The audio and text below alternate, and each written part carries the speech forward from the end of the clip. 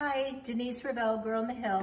I'm creating a delicious salad tonight. It's a duck confit salad, and I'm going to show you how to make um, a recipe from Jacques Pepin. It's a French vinaigrette, and I add lavender, fresh lavender to it. So it's three tablespoons of red wine vinegar,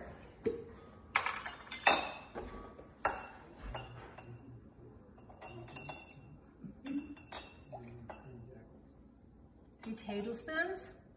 And I'm using Il Fiorello red wine vinegar, which is delicious. And I'll add a little bit of salt and pepper to this.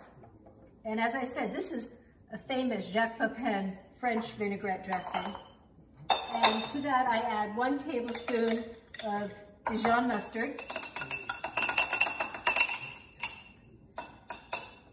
And what I'm gonna do is shake this a little bit.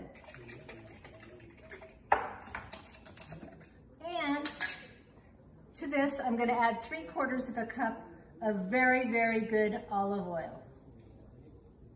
That's about three quarters of a cup. And finally, I'm gonna take the little flowers from some fresh lavender and I'm gonna add that to my vinaigrette. It'll make it very special. I've already have some that I have prepared and I'm gonna shake it and we're good to go.